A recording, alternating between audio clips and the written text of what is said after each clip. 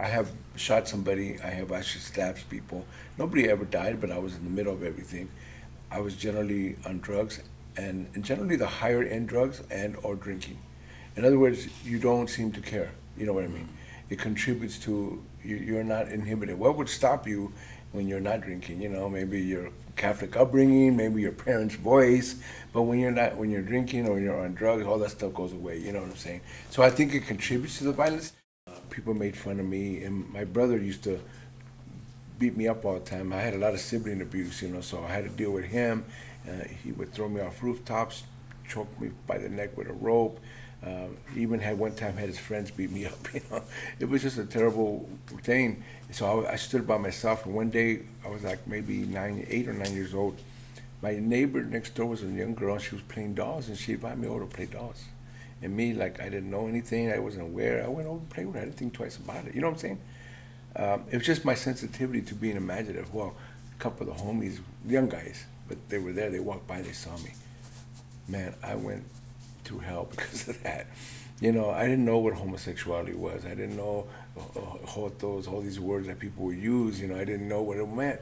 You know, uh, but they would call me all those things. I was getting bullied. You know what I mean? I was getting tired of getting bullied. What happened when I was nine years old? Um, those guys jumped me, and they just used an excuse to jump me. And what they did is they broke my my jaw. And um, I remember how I was beaten. I was on the ground. People were laughing at me. You know what I mean? And I remember I had a little league game that day, and I went to the little league, and I cried. I couldn't stop crying, and I'd never really been that way. And I made a promise to myself that I would never let that happen to me again. You know what I'm saying? Mm-hmm. And I never have. I'd never. I would stand up to everybody after that. I don't care if they could beat me up. I would never be crying, beaten down on the ground. You know what I'm saying? Mm-hmm. I joined a gang about two years later. Uh, it, when I was 10, my best friend was killed. That also impacted me. And then by 11, I was ready to be in a gang. I was like, you know, uh, at least I felt the gang had power. If anybody was gonna mess with me, I had my homies, you know what I mean? And I, I, I was tired of the bullying. I was tired of being put down. And now in the gang, I could be tough now. And that's a sad thing. It's a distortion of manhood because then I wouldn't cry and I wouldn't, you know, I mean, then I wouldn't be putting down and I would be going to war all the time. It was a distortion of manhood. I, I remember even my mom was trying to hit me, and I wouldn't cry after that. And she would hit me with the, you know how they use the gancho, the cinto, the the chancla, the tabla, everything. She used everything against me, and it didn't work. I wouldn't cry. So she stopped beating me up, but she gave up on me. But you know what I'm saying? It's this distortion of manhood. I couldn't show no tears. I had no more imagination. I wasn't playing no more. I wasn't going to hang with anybody. Now I was going to be in the street. You know what I mean? I wasn't going to be playing with a little girl, uh, uh, you know, who innocently invited me over. That those days were over, and it distorted my manhood pretty much. Uh, well, you said that the gang gave you. Um, yeah, gave you power, but what else did it give you? Did it give you anything else? It gave me what I thought was respect because now people looked up to me. Having been in the barrio gang, what it was is like, oh, nobody's gonna mess with you. Um, and it got to a point, it was a weird thing that happened. My brother was three years older than me. He used to beat me up when I was young, but he never got in the gang. He became like a regular dude.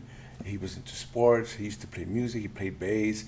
He's a nice guy. Um, and one day he walked to a rival neighborhood and they jumped him because they knew who he was. In fact, we had cousins in that neighborhood that jumped him, our own cousins.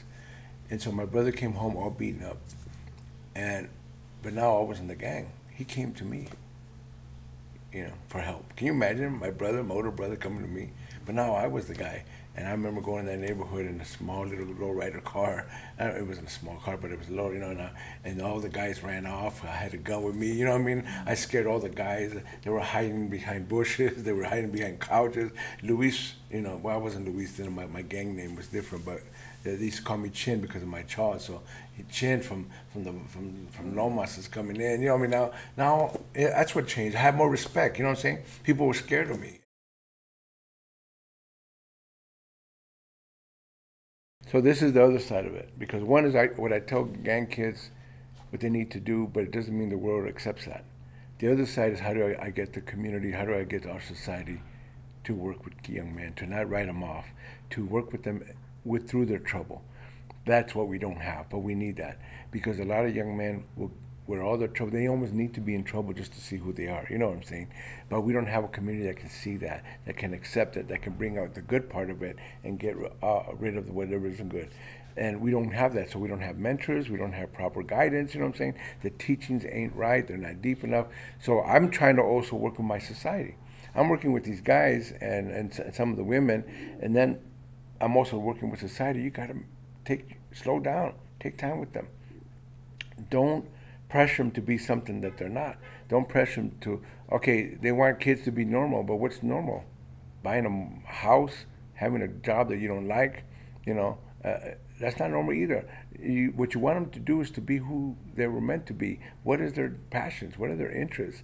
Uh, wh- where are their skills? What are their attributes? I'm saying work with them so they can be fuller in their life. That to me is what we need a society for. Why we need community for. And I'm fighting to get community to do that more with these young people.